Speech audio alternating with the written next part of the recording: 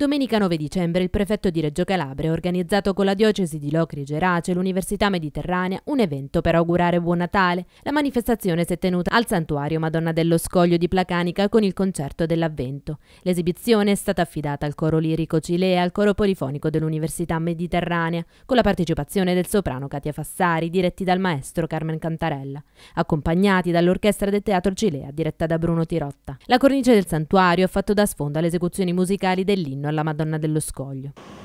Innanzitutto intendo porgere il mio cordiale saluto a Sua Eccellenza il Prefetto Michele Di Bari, alle autorità civili e militari presenti e a voi tutti, fratelli e sorelle in Cristo.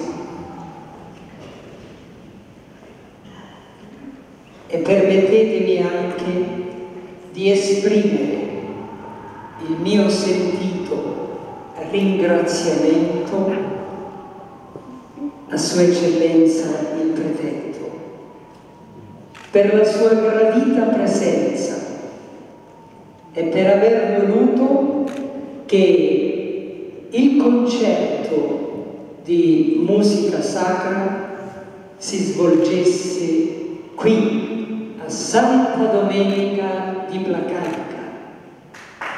Proprio